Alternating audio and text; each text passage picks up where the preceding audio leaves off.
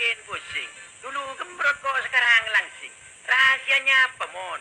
Sekarang kan ada teh hijau cap kepala jenggot. Teh hijau cap kepala jenggot, teh kesehatan dan kecantikan.